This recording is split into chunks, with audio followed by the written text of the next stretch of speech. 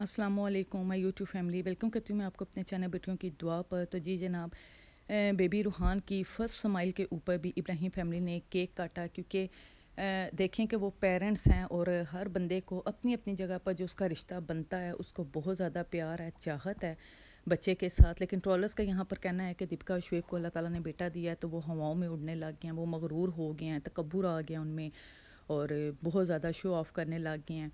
तो ऐसी कोई भी बात नहीं है, ये उनकी खुशी है, ये उनका हक है। ये तो मेरे रब ने भी नहीं रोका इस बात पर कि मैं आपको खुशी दूँ, मैं आपको नेमत दूँ, मैं आपको राहमत दूँ।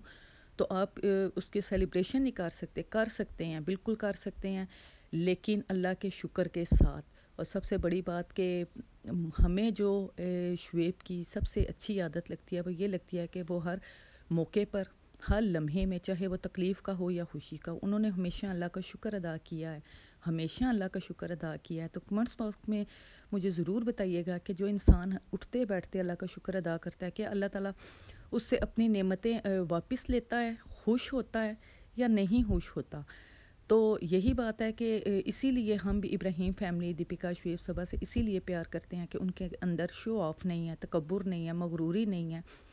हालाँकि शो भी इसके सितारे होने के बावजूद आज इतने सालों बाद अल्लाह ताला ने औलाद दी, लेकिन उसको भी उन्होंने बहुत ही ज़्यादा आजाना तरीके से अपने वीवर्स के साथ शेयर किया। वीडियो अच्छी लगी, चैनल को लाइक सब्सक्राइब शेयर कीजिए।